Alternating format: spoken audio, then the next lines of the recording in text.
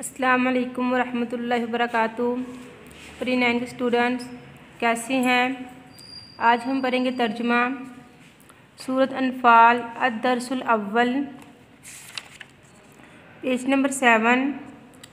चलें, आप भी बुक को ओपन करें और साथ साथ तर्जमे को देखें। अऊज़ु बसमीम युहिक़ल हक़ व युब्तिलल बातिला वलौ कारिहल मुजरिमून।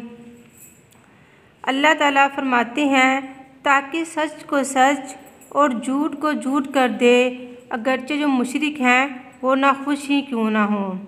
इस तस्तगीसूना वब्बकुम जब तुम अपने अल्लाह से फ़रियाद करते थे या दुआ मांगते थे, फस्तजाब लकुम, बस अल्लाह ने क्या किया?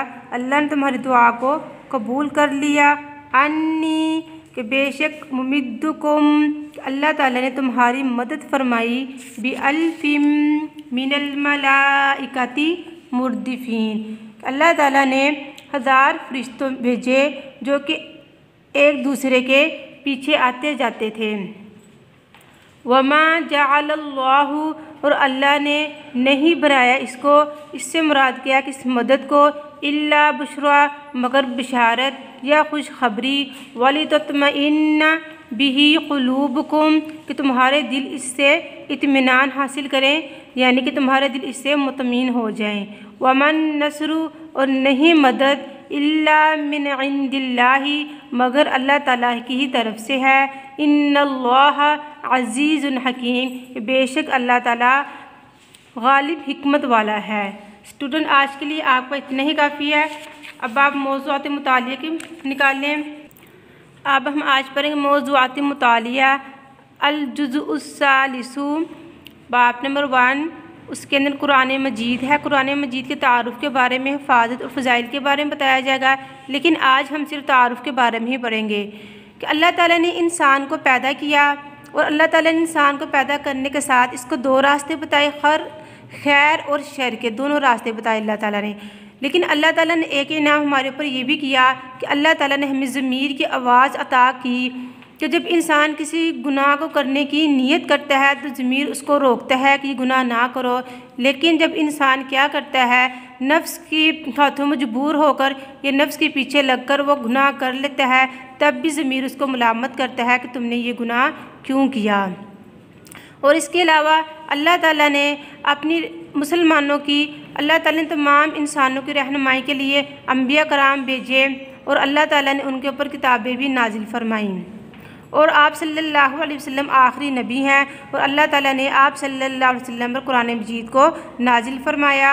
जैसे कि अल्लाह ताला का इरशाद है, व अनजलना इलैकल किताबा बिलहक़ मुसद्दिक़ल्लिमा बैना यदैहि मिनल किताबी व मुहैमिनन अलैहि। और तुम्हारी तरफ़ हमने ये किताब नाजिल की है, ये हक़ लेकर आती है। इससे पहले जो आसमानी किताबें आईं, इनकी तस्दीक करने वाली है और इनकी मुहाफ़ व निगबान है। कुरान मजीद को पिछली किताबों के लिए मुहिमिन कहने के क्या मतलब है? कि इससे क्या मुराद है? इससे मुराद ये है कि जब अल्लाह ताला ने पीछे पीछे जो पहले अम्बिया कराम थे, उनके ऊपर जब अल्लाह ताला ने किताबें, कुरान, किताबें नाजिल की तो जो उनकी कौमें थी उन्होंने को जो पसंद था, उन्होंने वो वैसे ही रहने दिया और जहाँ पे अपनी किताब में वो उनको लगता था कि ये जो उनके पसंद नहीं है तो वहाँ से वो क्या करते, अल्लाह ताला के हुक्म को ही छुपा देते हैं। लेकिन कुरान मजीद ऐसी किताब है कि क़्यामत तक ऐसे ही रहेगी, इसकी हिफाजत भी अल्लाह ताला ने अपने ज़िम्मे ली है और उसमें कोई तब्दीली भी नहीं आएगी। तो कहते हैं, अब इन तमाम बातों से क्या हासिल होता है? इन तमाम किताब, बातों से हमें यह मालूम होता है कि कुरान मजीद इंसान की इनफरादी ज़िंदगी ख्वाब इनफरादी हो, या इज्तमाही हो, या माशरती हकूक़ हो, या फ़राइज़ हों, इसके अलावा सियासी और बैन अवी मामला और अखलाक़ी रवैये को मतलब भी जाम तलीमत पेश करता है कि इंसान ने अगर कुछ भी जानना हो तो वह क्या करे? कुरान पाक खोले तो उस कुरान पाक के अंदर हर मसले का हल मौजूद है। और जिसका जानना इंसान के लिए बहुत ज़रूरी है और जिसके जानने का इंसान के पास कोई दूसरा ज़रिया नहीं है और जो ज़रिया है कि जिसमें इंसान को चाहता है कि उसकी दुनिया में भी कामयाबी हो और आखिरत में भी वाहिद की ज़रिया क्या है कि कुरान पाक अल्लाह ताला की किताब है, जो कि हक है और इसके अंदर किसी भी शुक शुबहात की गुंजाइश नहीं है।